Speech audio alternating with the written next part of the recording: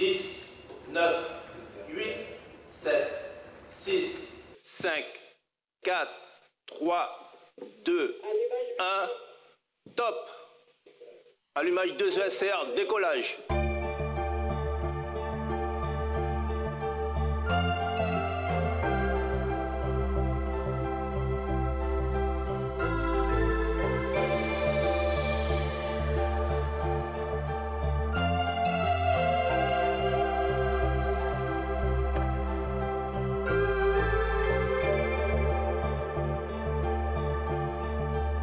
Ariane 6, elle vient remplacer la fusée Ariane 5, qui a pris sa retraite après 27 ans de bons euh, et loyaux services et 117 lancements.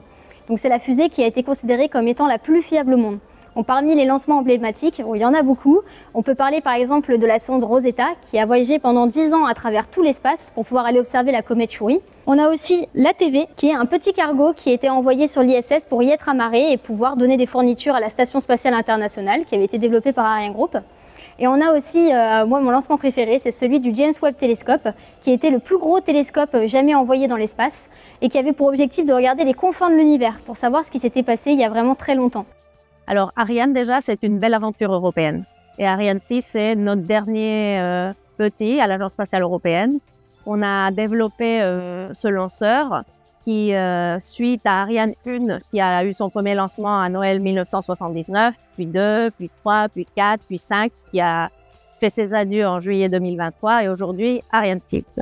Euh, Ariane 6 est, à part une belle aventure européenne, euh, on a travaillé sur de nombreuses innovations sur ce cet lanceur par rapport à Ariane 5, justement parce que Ariane 5 est, répondait très bien au marché euh, des satellites euh, géostationnaires euh, qui ont beaucoup euh, évolué depuis. Donc, euh, depuis son premier lancement en 96 jusqu'à aujourd'hui 2024, c'est sûr que ce marché n'est plus la niche du marché européen.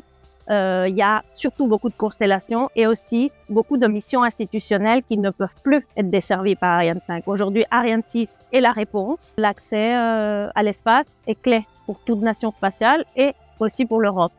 Donc, euh, on, on, a eu euh, une famille de lanceurs Ariane, entre Ariane 1 et Ariane 5, qui ont assuré l'accès euh, de l'Europe à, l'espace. On a aussi le petit lanceur Vega. Et pendant un certain temps, on a aussi collaboré très étroitement avec nos collègues russes pour amener le lanceur Soyuz au CLG. Malheureusement, personne ne pouvait le prévoir. Il y a eu une guerre entre la Russie et l'Ukraine. Et il s'avère qu'on a aussi eu des retards avec Ariane 6 et donc on a perdu cet accès garanti à l'espace. Il y avait des charges utiles clés qui devaient être lancées avec Soyuz. C'était notre solution de repli pour ces retards d'Ariane 6. On a souffert et on s'est aussi rendu compte et on a tiré des leçons. Il faut toujours avoir son propre accès à l'espace. Pourquoi? Parce que c'est la première étape, la première étape clé et habilitante pour pouvoir avoir des activités spatiales. Ces activités spatiales vont depuis l'utilisation de notre téléphone, les télécommunications, la météo, mais aussi euh, les services de surveillance pour qu'on soit tous euh, bien en paix en Europe et qu'on puisse faire confiance et ne pas avoir de crainte. Et d'avoir ses, propres moyens, c'est clé. On l'a vécu, euh, comme je le disais, récemment. On va donc pouvoir euh, maintenant avoir notre propre accès et le rétablir pendant une période transitoire euh, qui a eu lieu depuis le dernier lancement d'Ariane 5 euh, en juillet 2023. Une campagne d'Ariane 6, euh, alors celle que nous venons de dérouler est un peu particulière, c'est un vol de, de, qualification, donc il a fallu à la fois euh, terminer les étapes de qualification et d'essai euh, pour mener cette campagne. Donc, la campagne a été un peu plus longue, hein, elle, a, elle, a, démarré, elle a démarré de, depuis le mois d'avril pour le pour ce qu'on appelle la zone de lancement, où est assemblé le, le lanceur. Sur les futurs vols, et sur les futures campagnes, évidemment, euh, l'objectif est de faire euh, beaucoup plus court, euh, d'essayer de faire des campagnes avec quatre semaines, quatre semaines d'intervention. Mais le, processus va se mettre, va se roder en fait, il va se mettre petit à petit en place. Il faut que les équipes apprennent à manipuler tous les moyens qui leur sont mis à disposition. Il faut qu'elles fassent connaissance également avec le lanceur, même si pour certaines, elles y travaillent évidemment depuis longtemps euh, et puis qu'elles prennent en main euh, tous les moyens sols que le CNES euh, leur a délivrés. Donc ces équipes, ce sont celles d'Ariane Group et d'Ariane Espace, qui, qui, vont prendre en main toutes les installations à partir de la fin de cette année, avant le deuxième vol d'Ariane 6 qui aura lieu fin d'année. Donc pour ce premier pour ce premier vol de qualification, donc pour FM1, euh, nous avons travaillé de concert, nous avons travaillé ensemble, à la fois les équipes du CNES sur les moyens sol et évidemment les équipes d'Ariane Group sur le lanceur. Donc il a, il y a une, on est en phase d'apprentissage actuellement. Il va y avoir une montée en puissance euh, de, de, toutes ces compétences et l'objectif évidemment est de faire des campagnes de lancement les plus courtes possibles de façon à qu'on puisse tenir des cadences de lancement qui soient entre 9, 10, voire 11 lancements par an, euh, une fois que le, système aura atteint, sa, aura atteint sa pleine maturité. Ariane 6, c'est une aventure industrielle européenne, publique et privée. À savoir, euh, l'Agence spatiale européenne est euh, la responsable du programme, donc elle lidère ce programme de développement Ariane 6. En ce faisant, elle approvisionne euh, le développement du système lanceur du Prime qui s'appelle Ariane Group et qui a une grande chaîne industrielle avec plus de 600 entreprises partout en Europe. Et ce, cet industriel, Ariane Group, qui est à la tête de toute cette chaîne, elle, il est aussi autorité de conception de ce lanceur. Mais on a également euh, un contrat avec l'agence spatiale française, le CNES, qui est elle responsable de toute la base, du développement de la base et les moyens sols donc euh, Guyane française, dans le port spatial européen, qu'on va utiliser pour lancer euh, ce lanceur. Euh, et également, on a euh, un partenariat avec Ariane Espace, puisque c'est l'entreprise à qui on donne la concession pour exploiter ce lanceur. Ce premier vol inaugural, il est sous responsabilité ESA, puisqu'il fait partie du développement, à savoir, on va vouloir tester ce lanceur en vol. On a fait beaucoup d'essais en sol. On a essayé, on a fait des tests sur le, les étages, les moteurs. On a fait des essais combinés entre le bord, le sol. On a également fait des répétitions générales avec et sans propre ergol, mais il y a des choses qu'on ne peut pas tester au sol. Il va falloir voir comment le lanceur se comporte en vol, notamment sur le dernier étage, qui est la, plus grande innovation euh, de ce, de ce nouveau lanceur Ariane.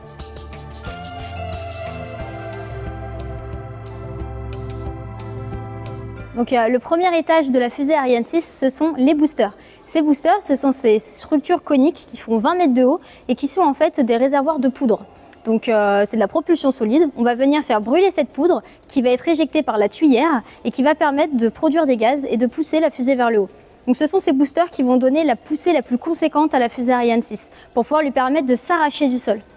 On a deux configurations de fusée Ariane 6 avec deux boosters ou bien tout simplement avec quatre. Ça va nous permettre du coup d'être modulaire et de pouvoir atteindre des missions différentes en fonction du nombre de boosters que l'on va mettre. Avant sur Ariane 5, on ne pouvait mettre que deux boosters. Ici, en en mettant quatre, on va par exemple pouvoir emmener une masse plus lourde ou bien aller plus loin dans l'espace, euh, juste en retirant ou en ajoutant ces deux boosters-là.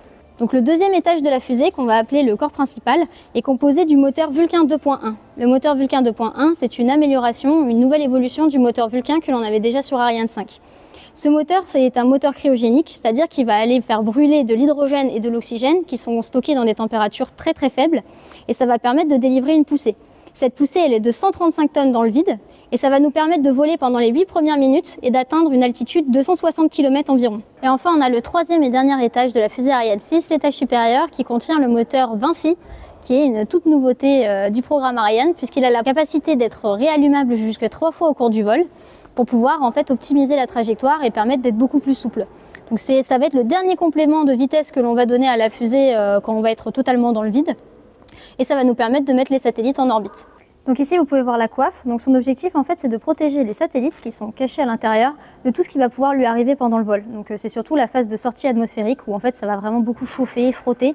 Et du coup, il faut absolument avoir cette coiffe pour pouvoir les protéger et faire en sorte qu'ils soient intègres une fois qu'on va les lancer. Donc ici, par exemple, vous voyez dans cette configuration Ariane 6 que l'on a deux satellites. Donc on en a un qui est posé ici sur cette petite structure et un qui est caché en dessous. Et ça permet tout simplement de pouvoir lancer un satellite, éjecter ensuite cette partie-là, puis éjecter le deuxième satellite.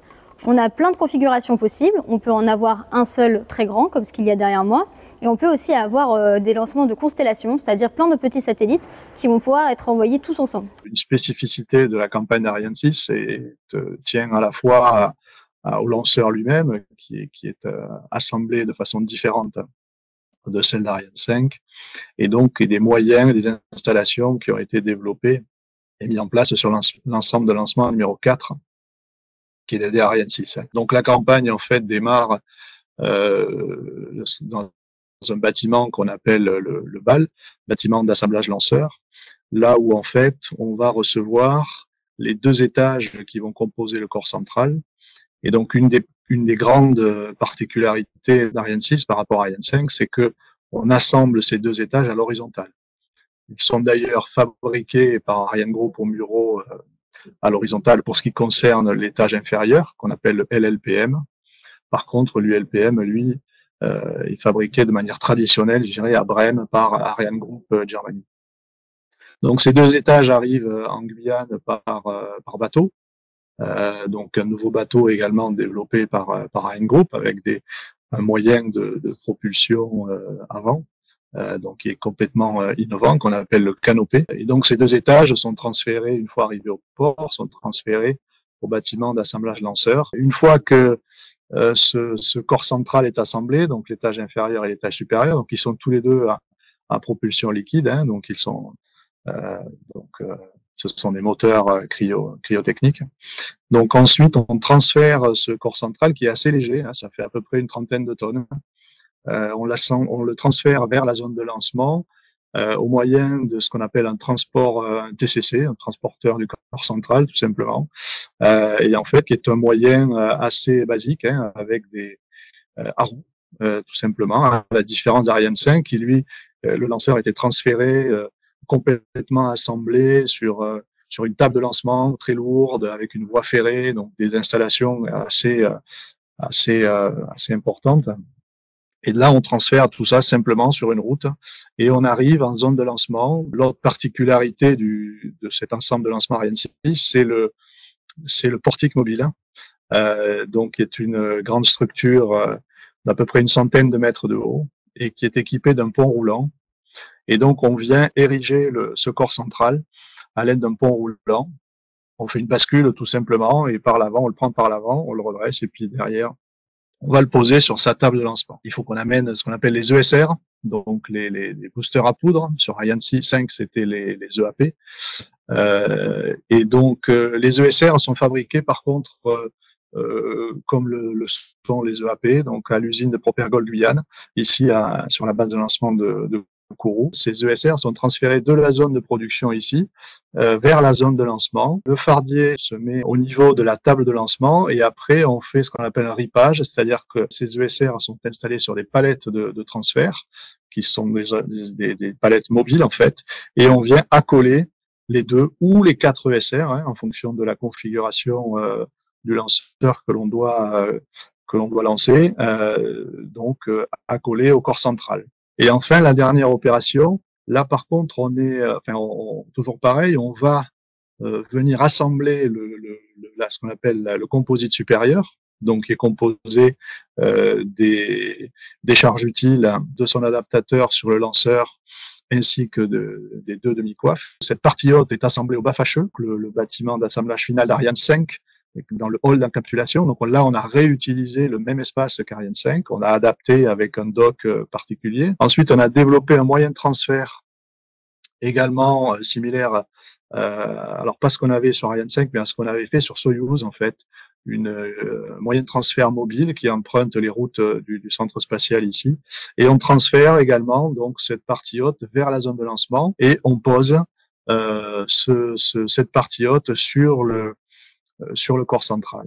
Et là, on a notre lanceur qui est complètement assemblé. Donc la particularité d'Ariane 6, c'est que on assemble tout le lanceur sur sa zone de lancement, à, contrario de d'Ariane 5, qui elle était assemblée sur euh, sur un bâtiment qu'on appelait le BAF. Avant, elle enfin, ah, et il y avait une étape préalable euh, qui, qui passait par un autre bâtiment qu'on appelait le BIL, bâtiment intégration lanceur. Et enfin, le, le lanceur était transféré complètement assemblé vers sa zone de lancement, euh, qui elle ne possédait pas de portique et ne possédait pas en fait de moyens d'accès aux derniers instants. Alors le, le, fait que le lanceur soit plus plus lourd, plus haut, euh, bon ça au final c'est pas tellement ça, c'est pas tellement ça qui nous gêne. Ce qui ce que l'on recherche, c'est à la fois optimiser les opérations, faut, faut, que je rappelle que en début de programme, et ça a été un driver tout au long de, la phase de développement, euh, il y a un aspect coût récurrent qui, a été pris en compte euh, par le projet dès le début. Euh, et ce qui a fait que l'on a pu optimiser les opérations qui étaient réalisées sur, sur Ariane 5, on les a optimisées. Il y a eu un gros travail d'ailleurs de la part d'Ariane Group là-dessus, conjointement avec le CNES pour les opérations au sol. Et donc les moyens au sol ont été développés pour que l'on puisse optimiser ces opérations. La particularité d'avoir euh, aussi ce portique en zone de lancement Ariane 6, c'est que l'on a euh, on peut intervenir très tard dans la campagne, qui permet d'accéder à tous les niveaux du lanceur jusqu'à J-1 euh, et même, euh, même à J0, hein, puisqu'on retire le, le, portique quelques heures avant, avant le lancement. C'est une des dernières opérations que l'on fait, nous, côté sol, évidemment et, euh, et avant de, de, libérer la ZL et avant de faire les, premiers remplissages euh, en ergol cryotechnique. Ce premier vol inaugural a plusieurs caractéristiques. Déjà, on va utiliser euh, une, une, orbite un peu particulière, puisqu'on va lancer à 580 km au-dessus de la Terre, donc bien au-dessus de, de, la Station spatiale internationale, qui est, est autour de 400 km, et à une, une inclinaison de 62 degrés parce que tout d'abord, un premier volet, c'est qu'on va, on a donné la possibilité euh, à, à, des entreprises privées, à des étudiants, à des entreprises publiques, même à la NASA, de d'embarquer leurs satellites. Donc, on a toute une panoplie de satellites, des expériences, des petits CubeSats qui sont des, des satellites d'une taille euh, de 10 cm par 10 cm par 10 cm, donc comme une boîte, euh, une boîte à chaussures. Et également, on a des capsules, deux capsules de réentrée et des expériences. Donc, vous voyez, ceci euh, témoigne de la polyvalence de ce lanceur. On va avoir tous ces satellites qui vont être lancés, puis des expériences qui vont rester attachées au lanceur, notamment pour nous donner euh, des, données d'exploitation de vol, donc pour recevoir toutes ces données après le vol, dans, dans l'esprit euh, de faire des essais, parce que ce vol, il sert surtout à démontrer un certain nombre de choses, mais il y a tout un deuxième volet de ce premier vol inaugural, à savoir, on va vouloir euh, tester euh, l'étage supérieur, le moteur Vinci, euh, également l'APU, dans l'unité de, de, poussée auxiliaire. Surtout pour une mission qui nous tient très à cœur en Europe, c'est la mission Galileo. Et pour ce faire, on a même inclus dans ce lanceur un lest de 2 tonnes, donc représentatif du dispenseur Galileo, pour pouvoir tester comment le lanceur se comporte envers cette mission, qui sera clé pour l'Europe et qui sera lancée et lancée beaucoup avec Ariane 6. Et donc ça, c'est le deuxième volet où on va se permettre de tester beaucoup le lanceur euh, pour voir euh, comment il répond aux besoins institutionnels européens. Déjà, on a fait un nouveau pas de tir. On ne pouvait pas réutiliser ou faire un copier-coller de, de, de, ce qui existait sur Ariane 5 et donc on a complètement, euh, enfin, je dirais oui, révolutionné la façon de d'opérer et donc de concevoir nos installations. Euh, on, on s'est inspiré aussi de nos projets précédents, c'est-à-dire qu'on a, et là je le salue, le, le, travail des équipes du CNES qui ont euh, mis à profit le retour d'expérience que l'on a eu sur Soyuz, par exemple, puisqu'on a développé l'ensemble de lancement Soyuz ici à Kourou avec les, les équipes, les équipes euh, russes. Euh, il, y a, il y a une quinzaine d'années on a mis à profit aussi ce qu'on avait fait sur Ariane 4, c'est-à-dire qu'on a mis à profit toute, toute notre expérience qui, qui, est maintenant assez longue, hein, puisqu'on a 30 ou 40 ans d'expérience côté CNES sur les installations sol. Euh, on a fait et, et, celui et le pas de tir d'Ariane 6 et le dixième et le dixième que réalise le CNES pour le compte de, de l'Agence spatiale européenne. Donc, euh, on, on, a complètement fait quelque chose de nouveau, voilà, et qui, qui, euh, qui est d'ailleurs et, et qui, qui d'ailleurs a un bon retour. On a un très bon retour de, de toutes les équipes opérationnelles. On va l'améliorer. On a encore des marges d'amélioration, on le sait, on les connaît. Et c'est ce que l'on va euh, s'employer à faire dans, dans, les prochains mois et l'année prochaine pour améliorer encore cette, cette, cette, installation, pour la rendre compatible de la cadence que Ariane 6 doit, doit assumer, euh, puisque derrière, comme vous le savez, on est dans un marché qui est quand même assez compétitif côté lanceur, et on se doit d'avoir un outil euh, performant euh, et qui garantit cet accès à l'espace qui nous manque depuis un petit moment maintenant, et donc il faut que l'on retrouve ça de manière absolument optimale.